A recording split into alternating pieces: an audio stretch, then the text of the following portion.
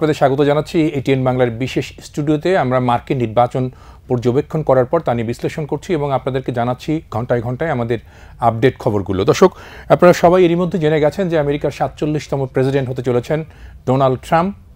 এই রিপাবলিকান প্রার্থীর জন্য কিন্তু কম চ্যালেঞ্জ ছিল না এবারে নির্বাচনটি।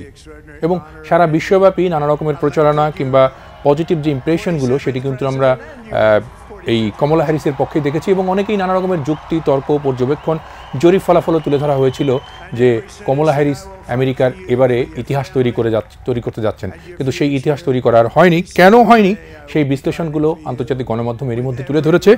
তো আমরা কয়েকটি পর্যবেক্ষণ আপনাদের সামনে জানাতে পারি, যেগুলো কিনা আমাদের পশ্চিমা গণমাধ্যম, যেগুলো আমরা বলব যে আমেরিকা কিংবা তার ঘাসা গণমাধ্যমগুলো বলছে যে সবচেয়ে বড় বাধা যেটি ছিল এই নির্বাচনে কমলা হ্যারিসের জন্য সেটি হচ্ছে যে তিনি নারী।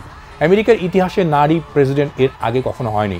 আমরা দেখেছি এর আগেও একটি নির্বাচনে যখন হিলারি ক্লিন্টন প্রেসিডেন্ট হিসেবে ইলেকশন করেছিলেন, তখন কিন্তু একটা নানা রকমের প্রচারণা কিংবা নানা রকমের নেতিবাচক একটি গুজব, কথা যাই বলি আমরা, সেটি ছড়ানো হয়েছিল যে আমেরিকা কখনো নারী প্রেসিডেন্টকে মেনে নিবে না। এটি এক ধরনের প্রচারণা ছিলই। তার পাশাপাশি কিছু কিছু জায়গায় আমেরিকানরা কিন্তু একদম কট্টর বলতে পারি আমরা।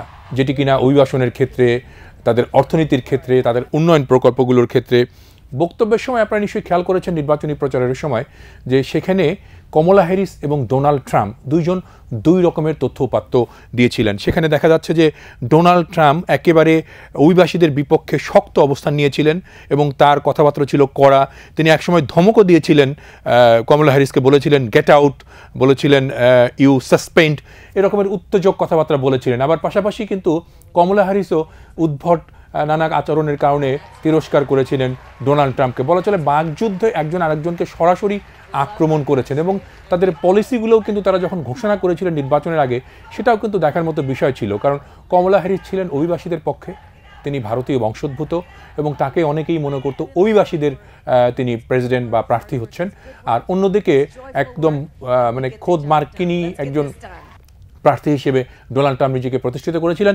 তার পক্ষে যারা প্রচার করেছে, তারা কিন্তু শক্তিশালী প্রচারকর্মী ছিল। বিশেষ করে ইলান মাস্কের কথা আমরা জানি।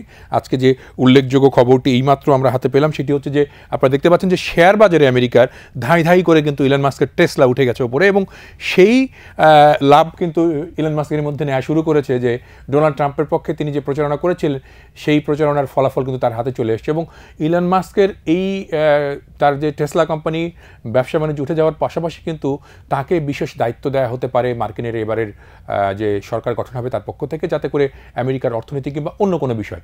যে কথাটা আমরা বলছিলাম যে এই কমলার হেরে যাওয়ার পেছনে বা তার এই নির্বাচনে পরাজয়ের পেছনে একদিকে যেমন তার অভিবাসন নীতির প্রচারণা, তার ব্যক্তি ইমেজ তিনি নারী, এরকমের বিষয়গুলোকে বিশ্লেষণ করে সামনে আনছেন বিশ্লেষকরা। তবে আমেরিকায় যদি এবার সত্যিকার অর্থেই ট্রাম্প তার নীতি মানে নির্বাচনে যে সকল কথা ঘোষণা করেছেন, সেগুলো বাস্তবায়ন করতে যায় বা করতে চেষ্টা করেন, তাহলে অনেক রকম আন্তর্জাতিক সম্পর্কের ক্ষেত্রে পরিবর্তন আসতে পারে, যেটি কিনা একের পর এক চমক বলতে পারি আমরা।